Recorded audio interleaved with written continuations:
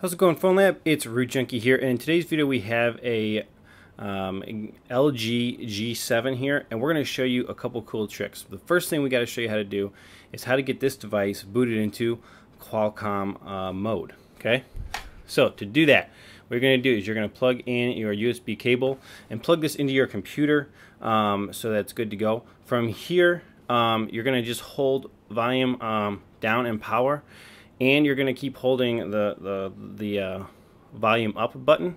Once it reboots, you're going to just start spamming the volume up button. So we'll spam it, and I'm waiting to see if it shows up, and it's not doing that yet. So we're going to just keep letting it reboot and keep spamming until it shows up in my device manager on my computer. And there you go. It is in um, Qualcomm mode right now, and we'll go to my computer and we're going to show you um, so we, we figured out how to get into Qualcomm mode just by spamming it, which is pretty cool.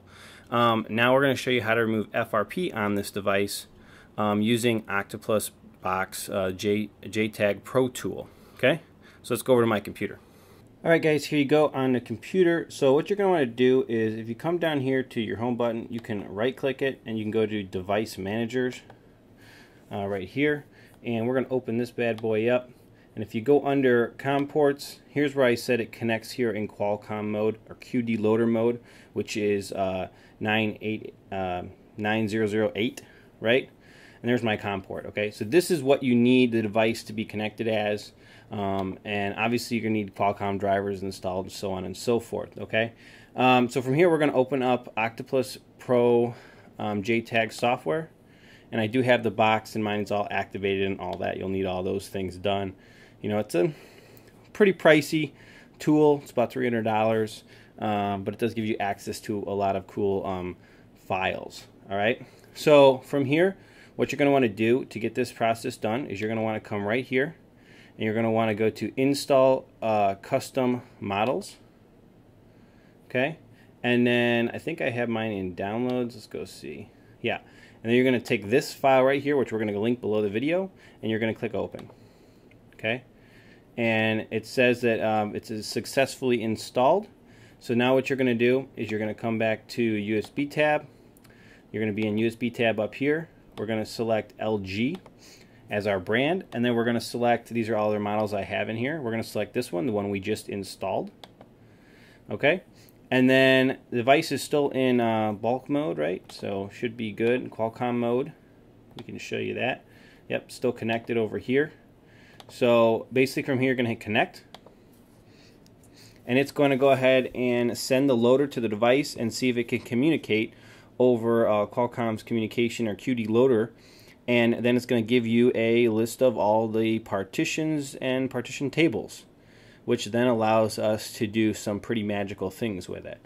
So this is a pretty powerful tool. Um, you can actually do this with Q QPST as well. It's just that this file is formatted specifically in um, Octopus Box's stuff, which is this dot uh, srf. So we kind of have to use it here unless we have something to decipher that uh, file in a different format.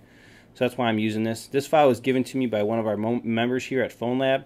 Uh, very big shout out to him. Thanks for that. And he's like, you got to make this video so our members can see this and uh, learn how to do it.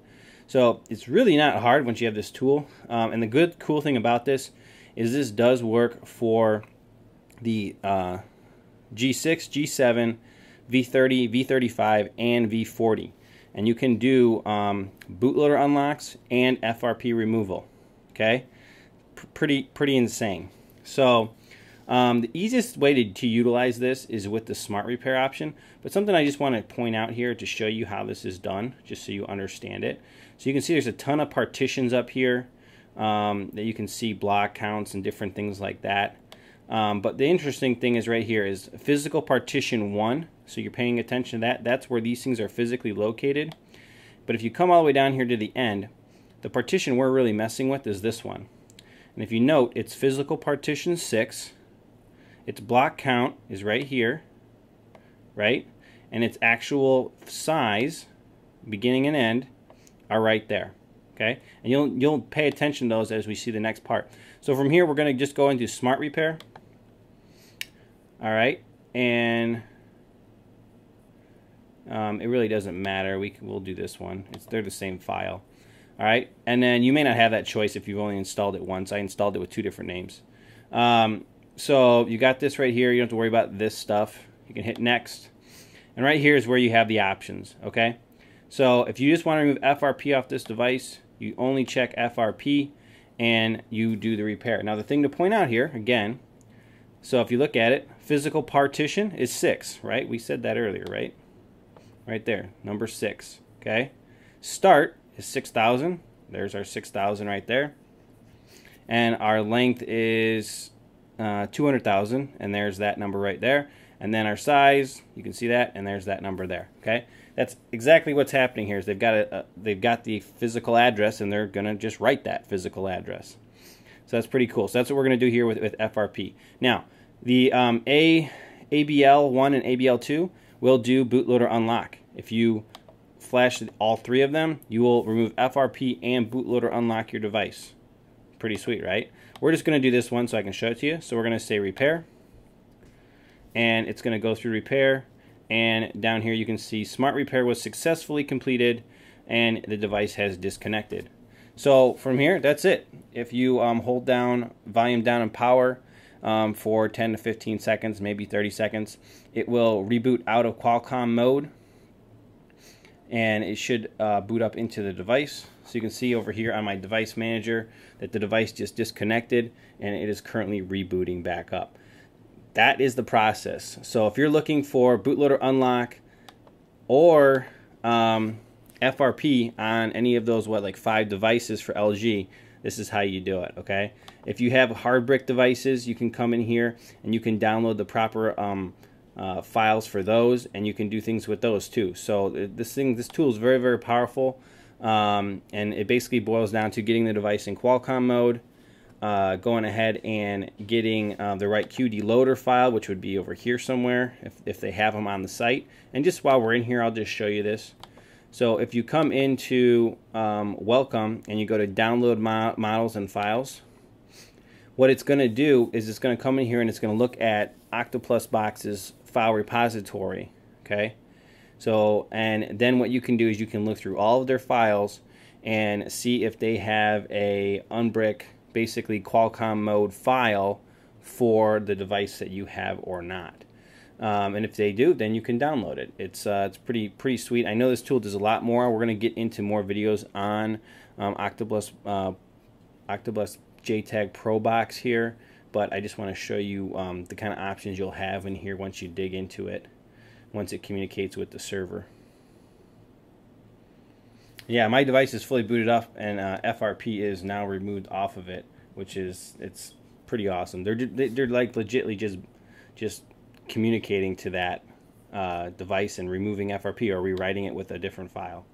So um, so if we go to like for example we go to LG, you know we want to go down here and find something you know, like an LS996, right? So you'd click on that. Here's the um, couple files you're going to need for that specific device. And then you hit download and they will download those files for the device. You'll see them building along the bottom. Okay, that that's legitly the process of using it, and um, it's pretty pretty cool, pretty easy, pretty simple. Then you when you instead of selecting that V40, if you have this device, you'd select this file from the menu, and you would be rocking it. So let's actually let's cancel that, close this out, and I can just show you that. So yeah, you would you just come in here, you'd pick LG again, you know, you'd pick your file, and then you'd uh, come over here to EM. EMMC and hit connect and then you'll have options to use smart repair tool to do different things or you can do partition manager or any of these other tools down here um, you can even write in the physical address if you know it and put those in here and actually do it that way. There's, there's many, many options with this tool, and I'm still learning some of them.